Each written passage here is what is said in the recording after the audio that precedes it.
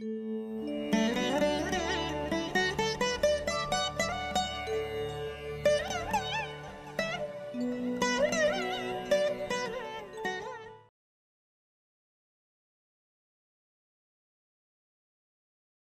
அனைவருக்கும் வணக்கம்.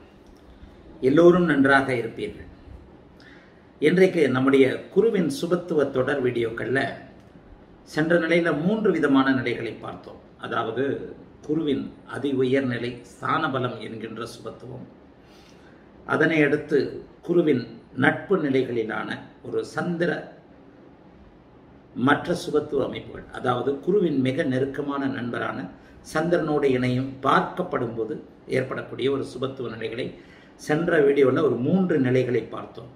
இப்போது குருவின் சுபத்துவ படிநிலைகளில் இருக்கக்கூடிய குருவே ஒரு சுபகிரகம் தான் குருவே வந்து ஒரு மிகப்பெரிய சுபகிரகம். அப்போ அந்த குரு சுபகிரகமாக இருக்கும் பொழுது அவருடைய சுபத்துவத்திற்கும் சில படிநிலைகள் இருக்குது அப்படின்னு நான் சொல்லியிருக்கிறேன்.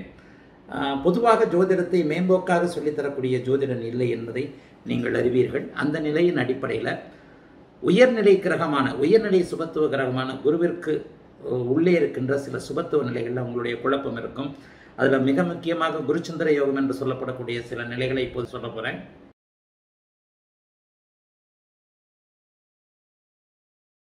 இங்கே ராசி கட்டத்தில் நான்கு விதமான இணைவுகள் காட்டப்பட்டிருக்கின்றன. அதாவது குருவின் உச்சநிலை குருவின் மூலத்திரிகோணம் குருவின் ஆட்சி மற்றும் குருவின் அதிநட்பு. குருவுடைய மிக முக்கியமான ஸ்தானபல நான்கு நிலைகள் காட்டப்பட்டிருக்கின்றன.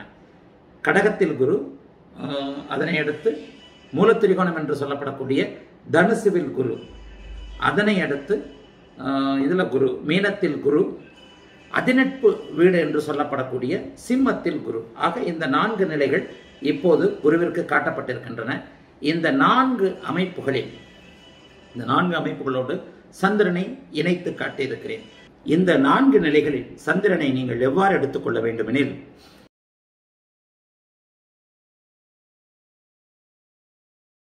குருவும் சுக்கரனும் இணைவதை பற்றி நான் நிறையவே பேசியிருக்கிறேன். குருவும் சுக்கரனும் இணையக்கூடாது அப்படிங்கிறதையும் நிறைய இடங்களில் சொல்லியிருக்கிறேன்.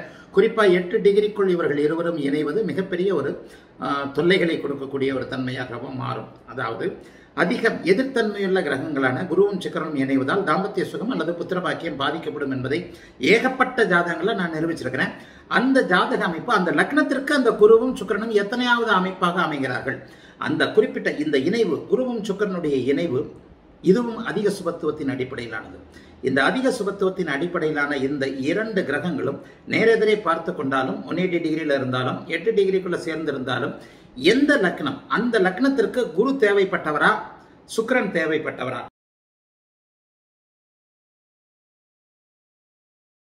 குருவின் சுபத்துவத்தில் ஆறாவது அமைப்பு.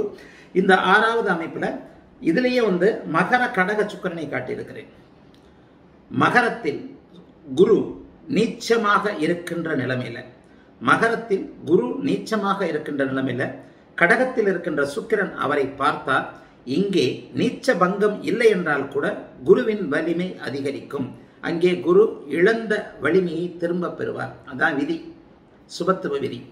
ஆகவே சுபத்துவத்தில் இருக்கின்ற எந்த கிரகம் பலவீனமான பலவீனமாக ஆனாலும் அந்த பலவீனத்தை நேர் செய்யக்கூடிய ஒரு வீட்டோ பவருடன் கூடிய குரு தானே பலவீனமான நிலையில தனக்கு அடுத்த சுபகிரகமான தனக்கு அடுத்த சுபகிரகமான சுக்கரனின் தொடர்புகளை பெறும் பொழுது அவர் அங்கே நிச்சயமாக மிகப்பெரிய நல்ல பலன்களை அடைகிறார் அப்படிங்கிறதான் உண்மை.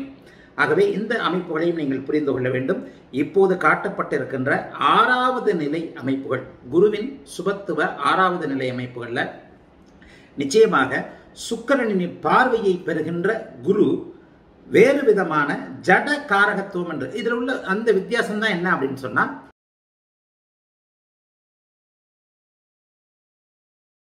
குரு இங்கே செத்து போய் கொண்டிருக்கிறார். என்ன?